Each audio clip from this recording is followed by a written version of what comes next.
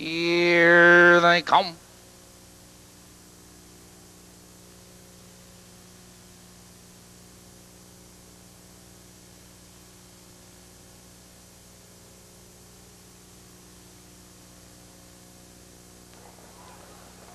They're off.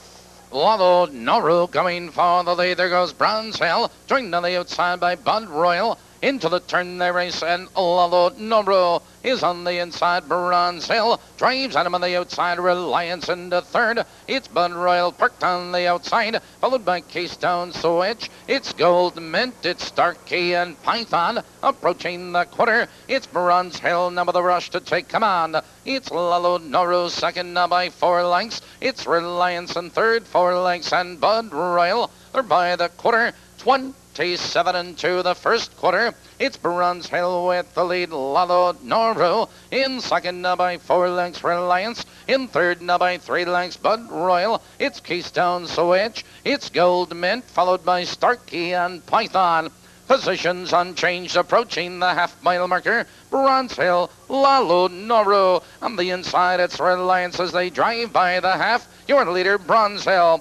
57 and 3. Now they move into the clubhouse turn. It's Bronze Hill with the lead. Lalo Noru moves on him on the outside. Reliance. There goes Case Keystone Switch. Followed on the inside. Bud Royal and Gold Mint. Now they curve into the back stretch and Lalo Noru now powers into command. It's Keystone Switch second, Bronze Hill. Followed on the outside, it's Gold Mint Reliance. On the outside of horses, Bud Royal. Now they curve into the back stretch. They're driving by the three quarter mile mark.